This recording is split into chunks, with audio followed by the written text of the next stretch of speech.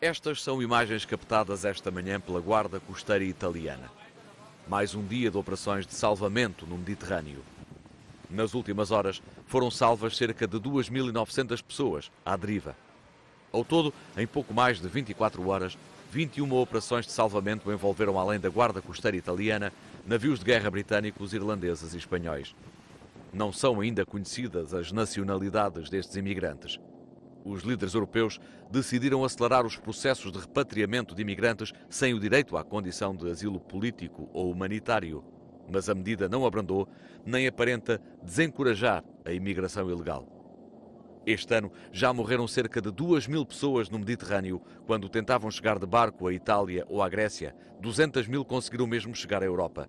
Mais 30 mil que em todo o ano de 2014.